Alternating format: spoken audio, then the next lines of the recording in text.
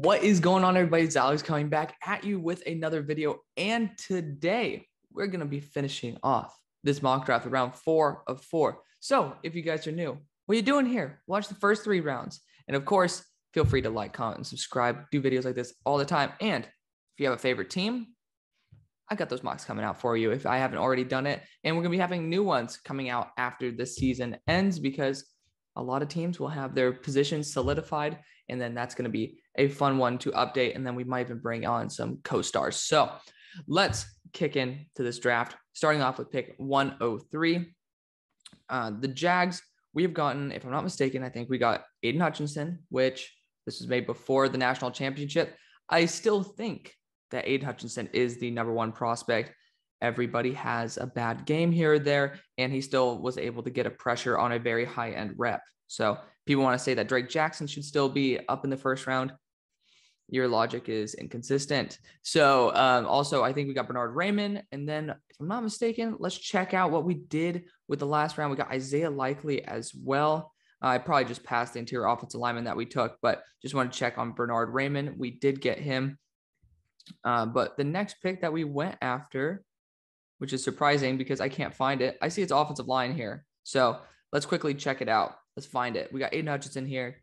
Um, it's been a couple days, obviously. I've been making a lot of videos for you guys ahead of time just so we could all experience the holidays together and I could catch up on all the goodies. Then we got Isaiah Likely here. Oh, there he is, Jamaree Salyer. Jesus. Uh, Jamaree Salyer is doing a great job. You know, he, to me, he's still a third round left tackle. I don't think he should play guard. Uh, even if you're able to handle a high end pr- player like uh, Aidan Hutchinson, there's a lot of technicality issues that I was not a huge fan of, including his anchor. So he's doing a much better job, and I'm very proud of him for that. He might move into my mid third range, but uh, I mean, maybe even early third, just because he did it against a very good talent. I'm still not completely sold on Jamaree Salyer yet. 103 though, this is a good spot to look at safety. Let's see who's on the board. Uh, Verone McKinley, I'm projecting him to return. I'm not 100% sure if he said he was or not. Tyke already did. No idea why he's still in here. Like, it's not like he declared that he's coming back in the middle of this mock draft. He did a while before. Um, interior defensive line wise, you still got Tyler Davis here, but I think that he he would be playing a similar role. You, you could use him at nose tackle. It wouldn't be a very bad idea. You go wide receiver as well. Xavier Hutchinson, Alec Pierce, both solid weapons. Not a huge fan of Calvin Austin here. Unfortunately, one of my favorite receivers in this draft randomly decided to return as a senior, Cedric Tillman. That hurt me inside a lot. So that's a big oof. But we're actually going to go on the defensive line here. I think getting extra help with Tyler Davis being a junior is probably the best thing to do. You might as well beef up that interior. It's probably the best option for you. 104, for the Browns. I want to see who's still out here. You still got Brenton Cox in here, and he might just be too good to pass on. Uh, you know, I've been throwing a little bit of shade his way, but he is still pretty damn. He's pretty damn talented, guys. So he's definitely worth a pick around the spot. I would just be a little bit weary of him on the Browns. I don't know how he'd fit there, but they do actually run four guys on the on down. So I mean, let's do it. Brenton Cox. This draft is all about getting the right value for your team. And this is a team that has two of its edge rushers up for a contract. So getting Brenton Cox on a new con or being able to get Brenton Cox instead of going on a new contract with Takk McKinley might be the best option for the team. For 105 for the Panthers. Uh, yeah, tackle is probably in order here, but I'm highly doubting that the right one is here. I think the developing Brady Christensen might be your best option. And for that, I'm actually, oh, thank God the sun went away for a second. Uh, thank God Jarrett Patterson is still on the board. I think using him as a guard or center might be the best option. His IQ is pretty high. Uh, he is my number two center right now after looking at him in depth. But Andrew Voorhees is worth a second round pick to me. And guard play has not been too bueno. So we're going to go Andrew Voorhees out of USC. I forgot he was still on the board. Uh, yeah, I, I did a deep dive on him after I started this uh, this mock draft, and that guy's pretty damn good. 106 for the Seahawks. I think at this point you got to go corner, right? Like Marcus Jones, Alontae Taylor's, he's a little bit slow though. Um, you got Caleb Evans here as well. I'm gonna go Marcus Jones. This guy actually has a lot of potential. You know, you have Sidney Jones there, right? But I think Marcus Jones has played the majority of his snaps outside. He is five eight, but he is a damn talented corner. And he popped off on tape when I saw him. I'm like, oh, who's that corner? It's Marcus Jones. So big plus to Marcus Jones right there. 107 for the Baltimore Ravens. This could be a center, and this is going to be Jarrett Patterson. I have him way above Dohnovan West. So I think Jarrett Patterson solidified himself as the best offensive lineman on his offensive line. And that's a big plus to me because sometimes when you're a center, other players make you look worse. And I think that's what's happened. He on his own did a very good job. 108 for the Seahawks. This very well might be Haskell Garrett here. I think that his pass rush upside is worth it on this team. Now, we could go after offensive line again. I'm just not a fan of many of these guys. I don't think they add much to this roster right now. So for that, uh, yeah, Rasheed Walker. I don't, I don't even know why people like Rasheed Walker. Andrew Stueber is going to be a right tackle. I think left tackle is the biggest need, and I'm not a huge fan of Andrew Stueber. So, uh, yeah, let's let's go on the defensive line here. You can get. I'm projecting Nolan Smith to go back, and then ZTF already declared. Actually, Zach Harrison's here. His athletic upside is going to get him drafted, and this is probably right about where I have him. So Zach Harrison out of the Ohio State University going here. Jets you know, Jets could get another wide receiver here. Xavier Hutchinson would be a fun guy to have on the outside. You could have Romeo Doubs as a deep threat. That wouldn't be a terrible option either. You could go after another offensive lineman, but I don't think that's very realistic. Tight end is still a big need. And you have Greg Dulcich here, who I think is a phenomenal tight end. And I think that is the best option for y'all. At 110, New York has not gotten a running back yet. And you got James Cook on the board, who's a great, great, great back. I have him as a second rounder. Okay. Like he's a beast. Uh, of course, that's not an official second rounder yet. We'll, we'll see when everything is able to kind of sift its way through. Uh, Zamir White could be an interesting one here. Jerome Ford is certainly someone who I'd have on the list. But you know what? Even though they don't usually need a running back like this, we'll go Kyren Williams. He's more of a three down back than James Cook is. I think he fits a little bit more with what New York's looking for. Very similar to Devontae Booker. And well, funnily enough, they have Devontae Booker. So Kyren Williams out of Notre Dame falls no longer. Number 111. I think this would be a good spot to look at offensive line. I do. I mean, I'm not a huge fan of Dohnovan West, but this is a good spot for him. Cade Mays played right tackle, but that's the one position you don't really need, you know? So I'm going to go Dohnovan West here out of ASU. Another pretty solid interior offensive lineman, can play guard, can play center. Uh, so if Chase Roullier gets injured, it's a great spot to put him. 112 with the Saints. Uh, this could be a good spot to go after a quarterback like Brock Purdy. You know, there's somebody on uh, Twitter who has him actually as his number three quarterback. So, of course, everybody, like even Book was some people's top three quarterback. I'm not going to say that that's a factual statement, but Brock Purdy could certainly be in this range. And funnily enough, this is a team that took Ian Book, right? And he looked bad. I would take Brock Purdy any day of the week over him. And I think he he's my next quarterback that I have. So I might pull the trigger right there. Might piss off some fans of Nola, but eh. uh, I think this actually will be a good spot to get Xavier, though. He's a very large wide receiver. You already have, not mistaken, we went Jameson Williams in the first round, anyways. So look at that. Yeah, we got Jameson Williams. We got a deep threat already who's actually a lot better than just a deep threat now. Xavier Hutchinson, getting a second wide receiver would be probably a very, very good option. For the Browns, honestly, this might be a good spot to trade out. They could get a tight end here as well. Cade Otton, uh, Sam LaPorta, though. Oh, I like this kid. I really do. I'm not 100% sure if he's coming out. He is a true junior, but I think he might have said he was coming out. So that might be even better. I love Sam LaPorta. When I watch him play, this guy pops off on tape this guy's going to be coming in as that third tight end next to David Njoku. Sam LaPorta is worth it. 112 for the Falcons. So I think this could be a wide receiver as well. You got Romeo Doubs here, who could be a really good deep threat on this team. Again, you're not going to be getting a number one wide receiver at this point. That's the bad thing. You could get Khalil Shakir. I just don't know how much of an upgrade that is over Russell Gage, right? Romeo Doubs has that potential to be your deep threat. Uh, he has good ball tracking solid enough speed, good size. I think that's the right move. You know, getting some extra wide receiver help on this team is paramount, and that's something that we need to address. 115 with the Packers. Let's see who's here in the linebacking room. You know, Demonco Quay Walker actually is pretty good. And Channing Tindall, like this dude, literally, I'm pretty sure he wears. Uh, I might have gotten mixed up. He wears the neck brace, and that's just it looks so sick seeing a linebacker do that. It might have been Quay. No, Quay's Quay's the guy who he's like number seven on the team. Regardless, uh, I was just trying to remember which one's which. But this could be a good spot to go after a high end linebacker. I think it's also a good spot to go after a tight end. So when you look at the guys on the board, Grant Calcaterra deserves a little bit more respect with Peyton Hendershot here as well. I think I'm going to trade back at this spot because I am going to go a tight end, but I just don't think any of them are worth it. There are some very good tight ends, and I think there's a very solid receiving back on the board. And I'm trying to find a team that needs a receiving back because this guy is worth every penny, right? Like this guy is amazing.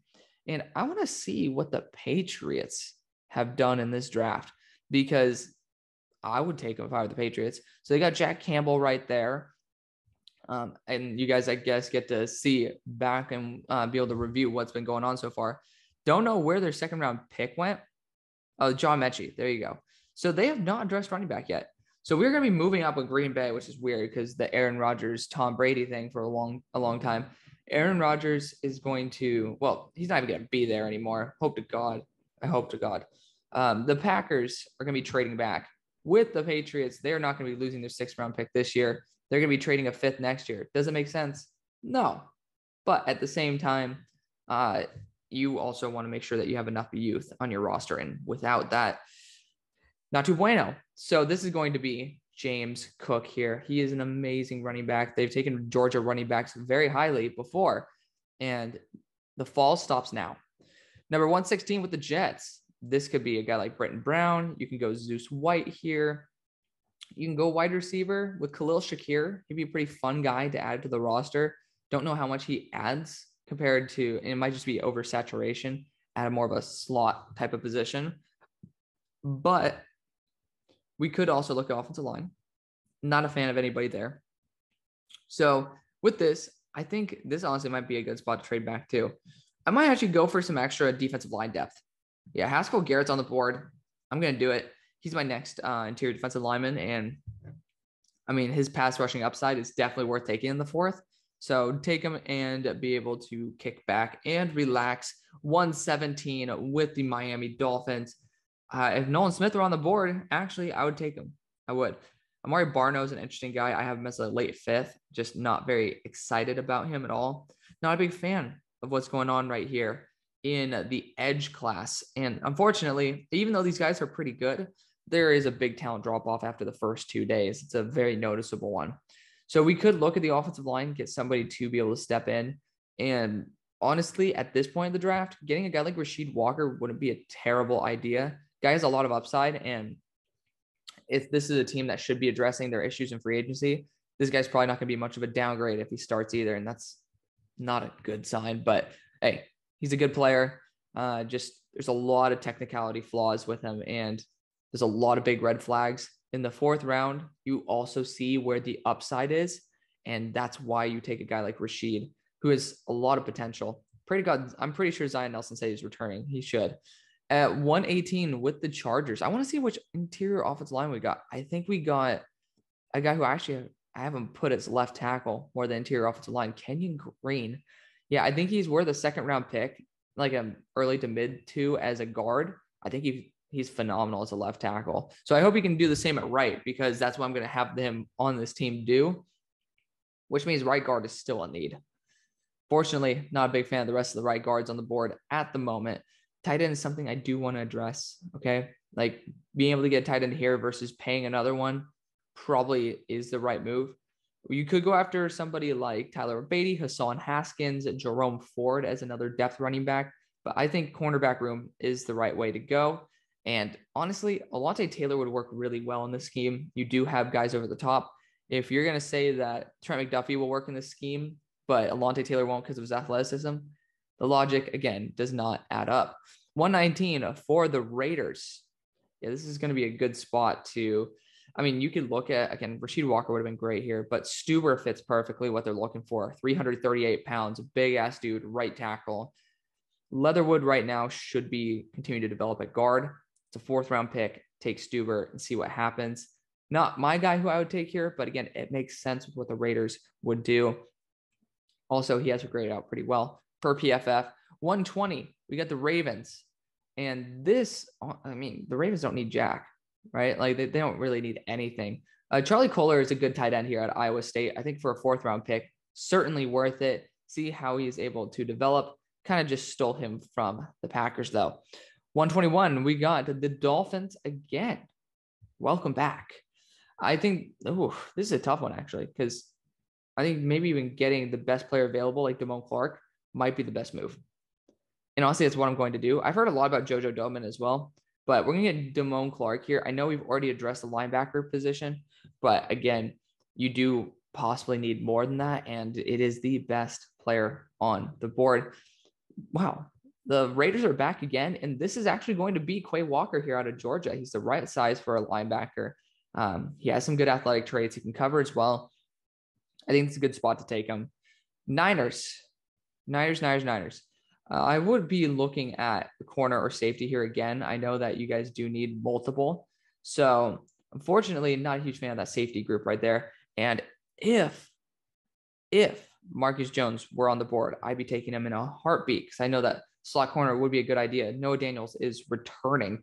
So, honestly, honestly, I'm really liking. Do we still have Riley Moss on the board? Probably don't. I would have definitely taken him by this point yeah, it seems like it, it. It appears as if I have taken Riley Moss, and I have, because that would be a really good fit on this team. I'm also going to go with Caleb Evans out of Missouri. He's six foot two, 200 pounds, the perfect guy to keep on the boundary. I think it's the right move for this team that is kind of, you kind of need to get some extra help in that corner core. You already got one corner who's solid. I think getting a second one, like a Caleb Evans, with those immeasurables or intangible, no, those are measurables. With those measurables, the thing that you cannot train I think that that is a good place to start for the Colts. I think this is honestly a good spot to also go corner. You got Chamarri Conner here. Mario Goodrich, I'm not that big of a fan of, but you do see he's not that old. He's going to be about 22 at the draft, and it's pretty good depth, to be honest with you guys. Uh, Joey Porter Jr., again, I'm not 100% sure if he has decided to return or not, but he has some skin tight coverage, man. He's going to be going in this round. And I'm assuming he's not returning. Just again, I think that these corners are going to be like, oh, I could be a day, like a mid day three pick or early day three. Joey Porter Jr. is based on, again, those things that you can't train his length. It's really damn good. So at this spot, this is going to be Cade Otton here out of Washington. Not that big of a fan of him. Again, Josh Wiley is going to be returning. It, I'm pretty sure he's declared that, as well as Jahleel Billingsley. They all should be returning at least. He's my next tight end on my list. Cade Otton out of Washington. He's a solid. Uh, he's a solid tight end, and if he does not drop the ball, I think he could be pretty good. like it's a weird thing to say, but uh, next guy's gonna be Alec Pierce. Yeah, I think this is a pretty solid selection. I feel like he is a Raven, just a guy who's gonna be great in the contested catch. I can really see him in a Ravens uni and getting more guys who are big and can do some great contested catches with quarterbacks that are not very accurate is probably the best thing that you could do for Lamar. So it fits kind of perfectly. I'm pretty happy with it. So we're going to be rocking with it. 127 with the Bengals. Welcome back, Bengals fans. Uh, looking at offensive line here, you could also go after Cade Mays. We got, I think we got Trevor Penning. So uh, Cade Mays wouldn't be terrible at this point. He actually didn't grade too terribly for me. Very, he's a very high floor offensive lineman. I think adding extra depth wouldn't be a bad idea. Cade Mays out of Tennessee, former Oklahoma, not Oklahoma, Georgia Bulldog going in. I saw Oklahoma right here. Like, Jesus, Tyrese. Uh, 128 for the Bills. Getting some, you guys have pointed out, getting defensive line might be the best move here, right? So looking at the guys available, you got Keanu Benton here, Colby Wooden. Um, I'm actually a pretty big fan of Robert Cooper. That's just me. I, I do really like Robert Cooper and Corey Durden, both solid interior defensive linemen. I'm not going to go that route though. We do set, still need a second corner, and I think we're going to go to Clemson for it. I think Mario Goodrich at this point, he's young enough to mold into a corner too. And that video that I just made, if Bills fans, I just made your seven round mock. It just dropped as of right now. It's actually dropping later tonight, but it's dropped yesterday for y'all. So go check that out. 129 for the Texans.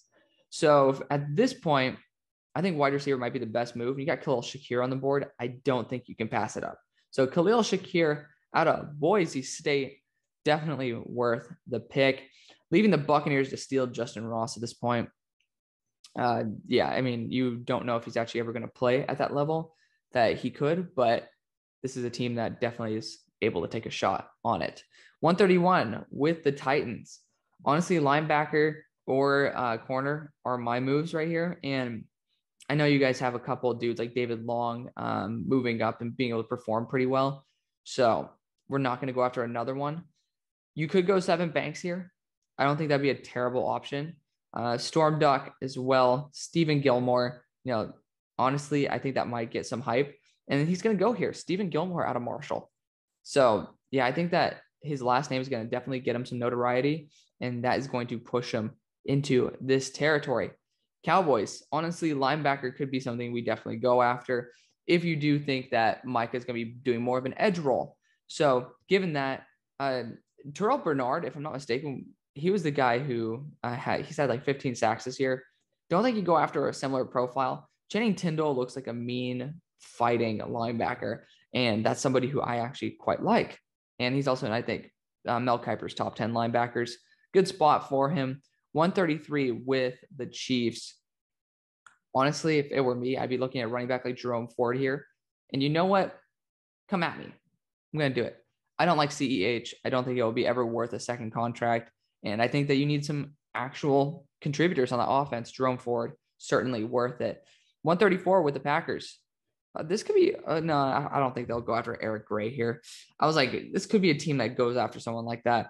But at this point, I mean, you're looking at some wide receivers here. I think Dontario Drummond's earned his keep. He's even helping out rookie quarterback or like true freshman quarterbacks in the bowl game. So rest in peace, Matt Corral. But luckily, the um the what is it called? I can't even believe I just forgot. These scans came back negative. Yeah, his um his X-rays came back negative. So very glad to hear that there's nothing torn or broken. It's just gonna be a really bad sprain. At this point, this is gonna be Brock Purdy out of Iowa State. They need something there to compete, and we all know that Ian Book is complete cheeks. 136 with the Packers. Back again. Jeez, they they got a lot of picks, huh? So I think linebacker would be the best value at this point. You got JoJo Domann here. You got Terrel Bernard. I, I think Terrel Bernard's earned his keep after his play yesterday. So cheers to him. 137 with the Ravens. Again, what's up with these? What's up with all the Ravens, man? The Ravens and the Packers be they're coming back, and same thing with the Chiefs. Uh, not Chiefs. I can't even believe I said I saw the Chiefs. I said Chiefs. The Saints. This could be JoJo Domann. This could be. I think that if you want to get someone who's a day one impact, you go after a guy like JoJo Domann. Brian Asamoah seems a little well. They didn't. Mm, we'll go Brian Asamoah here. We'll do it. Uh, going after a linebacker, I was like, they passed on what's his name? He's actually a bust at the moment for the Chargers. He's actually one of my favorite guys in that draft. I'm bugging on the name right now. It is early in the morning. It's also cold as hell outside, so that's why I'm repping the the robe. But you do you boo. But at this point, honestly, this is just a good spot to get someone like Eric Gray, solid receiving back. It is the best player available, and I love him. I'm a huge fan of Eric Gray here. So cheers. Um, I'm gonna be doing I'm doing all my deep dives right now. I got most, if not all, the offensive line in this draft scouted. So, whew, you guys don't realize how long that takes. I didn't realize it either. It's it's a lot of work. 139 with the Rams though. Oof, this could be a team that could use an edge. Or no, no, I said edge and chose corner. It is really early in the morning. Uh, you could actually go after a THT. I don't think that's a bad option.